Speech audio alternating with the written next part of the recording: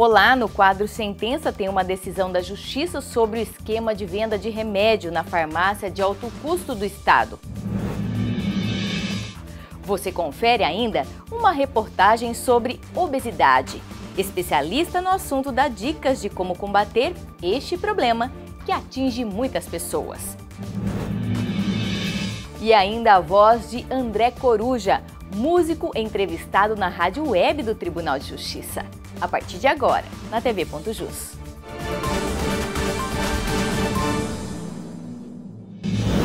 O Tribunal de Justiça de Mato Grosso rejeita recurso de um servidor terceirizado da Secretaria de Saúde do Estado e falso paciente da farmácia de alto custo. Eles são acusados de participar de um esquema de desvio de remédios. O medicamento em questão é a somatropina injetável, que os fisiculturistas usam no lugar da oxandrolona para definição muscular. Entenda o caso no quadro Sentença. O crime aconteceu em 2009, quando os envolvidos participaram de esquema para desviar remédios de alto custo, fraudando informações e falsificando nomes de usuários do Sistema Único de Saúde. Os dois homens responderam aos crimes de inserção de dados e falsidade ideológica.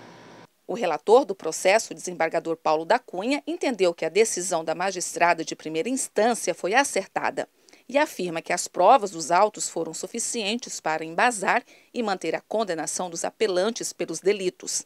No voto, o relator expõe que o motivo para o cometimento dos crimes foi a tentativa de obter para si gratuitamente o medicamento que poderia ajudá-lo a alcançar maior rendimento na prática do fisiculturismo. Em outro trecho, o magistrado diz que as circunstâncias em que os crimes foram praticados não lhe favorecem, já que se associou com o servidor público e se aproveitou disso para conseguir o medicamento que precisava. As consequências extras penais não foram graves, graças à pronta ação de uma servidora que, constatando a irregularidade, e não entregou o medicamento. Uma central de monitoramento do sistema Apolo acompanha em tempo real cada comarca e unidade judicial de Mato Grosso. A intenção é evitar falhas no sistema. Ao todo, são quatro operadores o tempo todo trabalhando na central de monitoramento do sistema Apolo, um dos ambientes de gestão dos processos judiciais no estado de Mato Grosso, utilizado principalmente nos processos criminais, por estes serem ainda processos físicos, ou seja, processos no papel. Um painel em tempo real mostra o status de cada uma das unidades judiciárias monitoradas. Ao todo são 83 unidades, 79 delas comarcas, mais o Tribunal de Justiça e outras dependências do Poder Judiciário monitoradas por esse sistema. Essa primeira tela é bastante intuitiva e aponta se está tudo bem ou se precisa de alguma atenção especial em alguma comarca ou unidade do Poder Judiciário. Outras telas ajudam neste monitoramento com outras informações que são analisadas pela equipe que trabalha nesta sala de monitoramento. Uma escala de cores que vai do verde ao roxo, passando pelo amarelo, laranja e vermelho, determina o status da unidade. O verde ele indica que a comarca está toda ok. O vermelho ele indica que a comarca está passando por experiência é, ruim, né, que ela tem um serviço degradado e a gente deve atuar nesse serviço para corrigir. O amarelo ele identifica um aviso, ele, ele avisa sobre uma tendência né, de piora no serviço da, da comarca. A gente tem um outro, uma outra cor que é o roxo, que indica que a comarca está totalmente fora e a gente não está conseguindo ter nenhum status da comarca, geralmente quedas de energia ou algum outro tipo de, de, de alarme podem é, ocasionar essa cor. O monitoramento em tempo real das comarcas e outras unidades judiciais, como o próprio Tribunal de Justiça, continua avançando também com a implementação do PJE, o processo judicial eletrônico. O objetivo é conseguir prever falhas e inconsistências de sistema, antecipando intervenções e soluções para as falhas antes de efetivamente ocorrerem. A gente está fazendo isso justamente para que a gente possa atender de forma bem mais rápida. Eu espero no futuro próximo, no futuro bem próximo, que as comarcas não liguem mais para a gente informando dos problemas que eles têm. Nós vamos ligar quando os sistemas estiverem restabelecidos. Judiciário, por meio do programa Justiça em Estações Terapêuticas e Preventivas, realização social que leva serviços à população carente de Várzea Grande. A dona de casa, Joana, foi uma das primeiras a ser atendidas. Ela e a filha vieram em busca de vários serviços. Eu vim atrás do CRAS e também um curso de tiara para ela, tirar foto e passar ela para uma psicóloga. Juliana também aproveitou a oportunidade e gostou da facilidade em resolver tudo em um único lugar. Eu vim fazer o cadastramento do Bolsa Família, vim ver o negócio do CRAS também, para fazer o Pro Família, vim fazer o segundo, isso, documentação da segunda via de certidão de nascimento. Aí eu vou tirar foto também, já vou aproveitar e ver um emprego para me trabalhar, que eu estou desempregada no momento. Porque eu moro aqui perto, então aqui é mais perto para fazer as coisas. E é muito bom também, né, que tem muita gente que não tem condições de fazer, então isso aqui é ótimo. Ao todo foram oferecidos 14 tipos de serviços, entre plastificação e emissão da segunda via de documentos, cortes de cabelo, orientação para a saúde bucal e artesanato. A ação foi realizada na sede do Juizado Especial Criminal, que fica localizado no Centro Universitário de Várzea Grande. E a instituição também colaborou com a iniciativa, cedendo acadêmicos e materiais para atendimentos em várias áreas. Todos esses serviços eles são ofertados pelos acadêmicos, só que são supervisionados pelos professores. Né? Então, os acadêmicos, ao mesmo momento que eles estão praticando o que eles aprendem aqui na teoria, eles estão ofertando para a comunidade carente de Varza Grande, ofertando esse serviço, para que juntos nós podemos é, ofertar esse serviço aí para a comunidade carente. O Ministério Público Estadual foi um dos parceiros. Essa ação que está sendo feita hoje é para possibilitar dar um maior apoio a essas pessoas e aos seus familiares no exercício da sua cidadania. O objetivo do programa, desenvolvido pelo Judiciário há três anos, é atender a população que esteja em situação de vulnerabilidade social de forma preventiva. Nós estamos com um programa, um programa social, que é de atuação do Judiciário, que é o Justiça em Estações Terapêuticas e Preventivas. Qual é a intenção?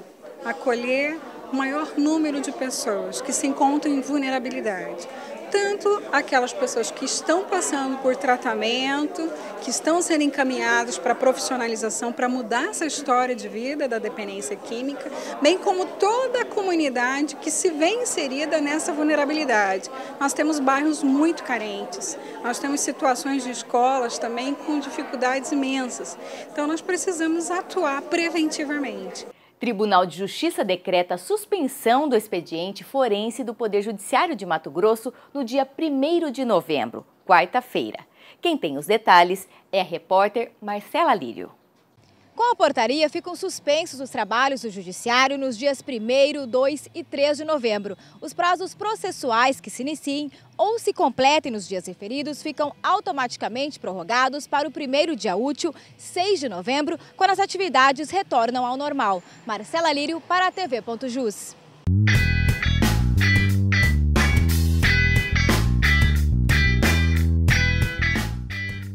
comarca de Sorriso abre processo seletivo para credenciamento de conciliadores.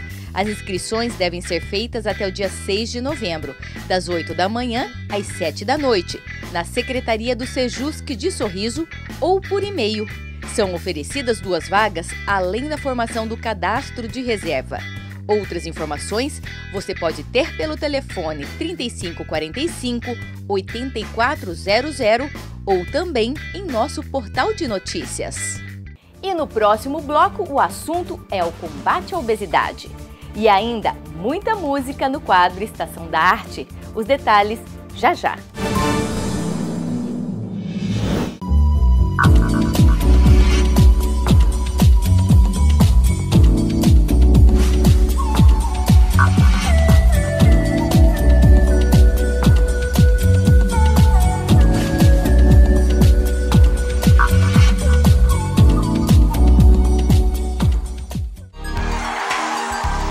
Em acidentes de trânsito sem vítima, chame o serviço de atendimento imediato do Poder Judiciário. Uma equipe vai até o local e faz a conciliação entre as partes.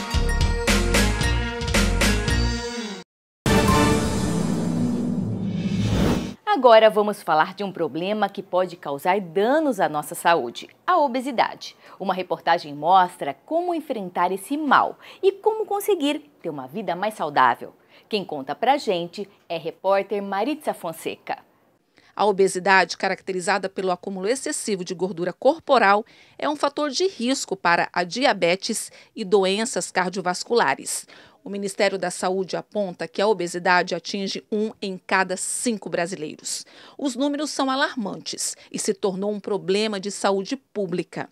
Em 10 anos, a população obesa passou de 11% em 2006 para quase 19% em 2016. Mas o que faz uma pessoa se tornar obesa? Essa nutricionista relaciona três fatores que contribuem para o excesso de peso. Uma é a alimentação inadequada, a alimentação industrializada, como eu falei, rica em açúcar, sódio e gordura, né? É, em quantidade exagerada.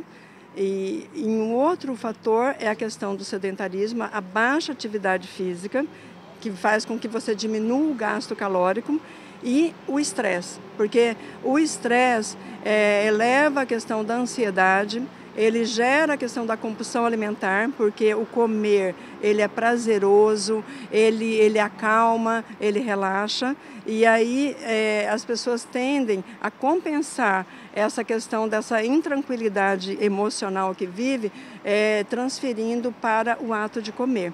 Atividades físicas e esportivas já se consolidaram positivamente no Brasil. Mas, apesar disso, o levantamento feito pelo Programa das Nações Unidas para o Desenvolvimento mostra que o país ainda apresenta um baixo nível de pessoas que praticam algum tipo de esporte. 70% da população é constituída por não praticantes. E em Mato Grosso, 35% são sedentários. Então é legal você estar tá procurando fazer uma atividade física que, que traga para você um prazer em estar tá realizando aquilo.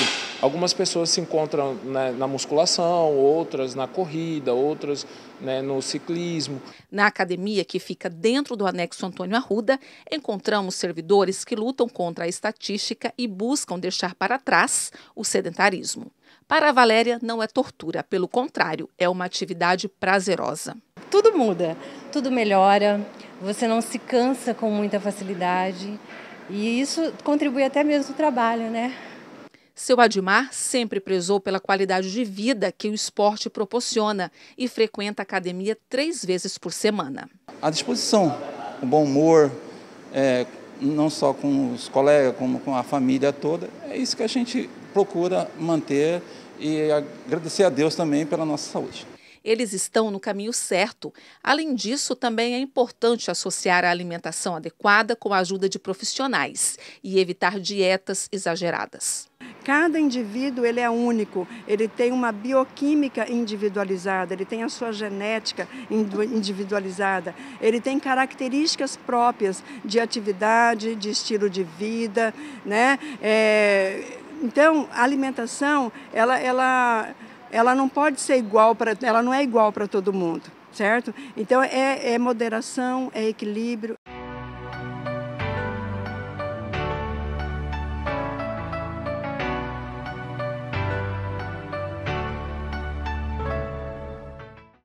E a Rádio Web do Tribunal de Justiça recebeu no quadro Estação da Arte o músico e compositor André Coruja. O artista contou um pouco da trajetória e, claro, mostrou muito talento.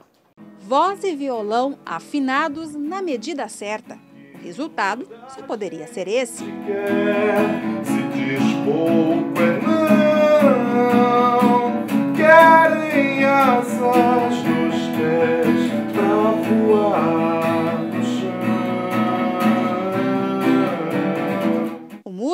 criado em Belém, no Pará, já morou em diversas partes do mundo, estudando e trabalhando com música.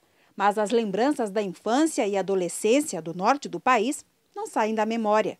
Período importante no qual formou seu gosto musical, que ele mesmo não gosta de definir como um só. Minha cultura musical em casa é de música popular brasileira. Meu pai escutava, meu pai escutava Chico Buarque, Chorinho, Caetano Veloso, Gilberto Gil. E isso era praticamente só o que eu conhecia quando criança. Por outro lado, minha mãe escutava flashback, essas músicas dos anos 70, de Bee Gees e tal, essas coisas bem dance, sabe, norte-americanas. Essa era a musicalidade a qual eu tinha sido exposto E depois com o violão, adolescente, a gente começa a conhecer o rock e tal. Morando há três anos em Cuiabá, demonstra seu carinho pela cultura e pelo povo da nossa terra, onde diz ser muito bem acolhido. Gosto de Cuiabá, é uma cidade que tem um tamanho que me agrada, sabe? Depois, depois de ter vivido fora e ver o nível de organização das cidades fora, e elas não necessariamente precisam ser tão grandes para funcionar. A carreira atualmente está focada em dois projetos: o lançamento e divulgação de seu primeiro álbum, o Two Trees, e as apresentações semanais em uma casa no centro da cidade que envolve vários artistas locais. Toda quinta eu convido um compositor e uma compositora da cena de Cuiabá para ir lá cantar, para se apresentar de uma maneira bem intimista para um público que vai para te assistir, para conhecer as tuas músicas, para bater um papo contigo. E ele aproveitou a entrevista no quadro Estação da Arte, da Rádio Web do Tribunal de Justiça, para agradecer o espaço. A rádio ainda é, sabe, um, um meio de difusão importantíssimo porque ela é muito formadora de opinião, sabe? Ela tem um alcance muito grande. Sem saber que eu só sabia ser da terra.